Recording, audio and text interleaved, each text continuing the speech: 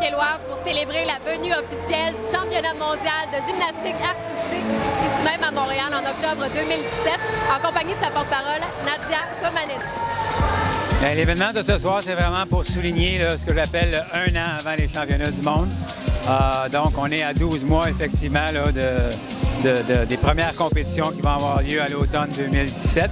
C'est également aussi pour, euh, pour euh, annoncer, introduire notre porte-parole officielle, qui est nulle autre que la reine des Jeux 76, Nadia Comaneci. Madame Comaneci, la reine des Jeux olympiques de 1976, ça fait donc 40 ans. Est-ce que le souvenir est toujours aussi fort aujourd'hui?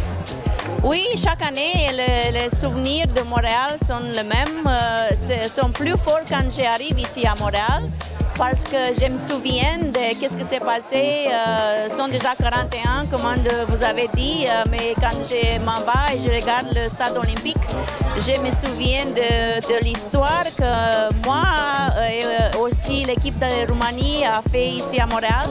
Euh, je suis très fière euh, d'être ici euh, chaque fois. La reine des Jeux de 1976 qui se joint à vous au championnat comme porte-parole, Nadia Comaneci. Un petit mot sur elle? Bon, je pense que tout le monde connaît l'histoire d'amour entre Nadia et Montréal qui perdure depuis 1976.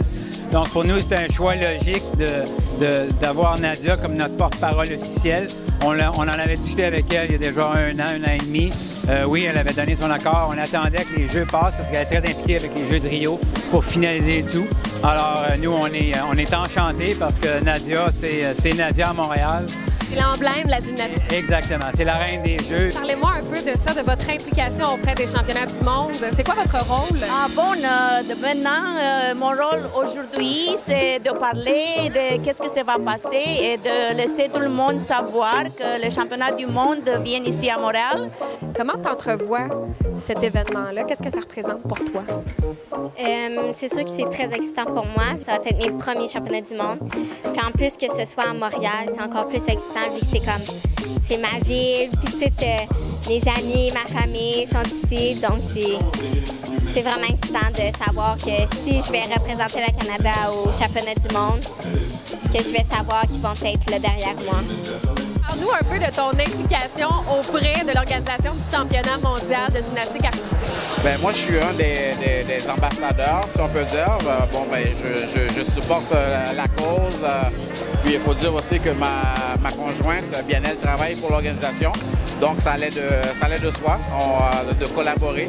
Jusqu'à maintenant, ça va super bien. C'est sûr qu'il y, a encore euh, beaucoup de travail, mais je suis sûr que ça va être un super événement l'année prochaine. Il y a un mot sur la soirée. Euh, grandiose, il y a beaucoup de monde. on voit qu'il y a du travail derrière ça. Chapeau. La gymnastique aux Jeux olympiques, c'est une discipline qui est, excessivement populaire, une des disciplines les plus regardées lors des Jeux. Donc, il y a toujours un engouement après les Jeux olympiques pour la gymnastique. Donc, nous, on va profiter de ça pour notre événement en 2017. Le Canada a organisé le championnat du monde de gymnastique artistique une seule fois euh, à Montréal en 85. Donc, nous, on le ramène au Canada 32 ans plus tard.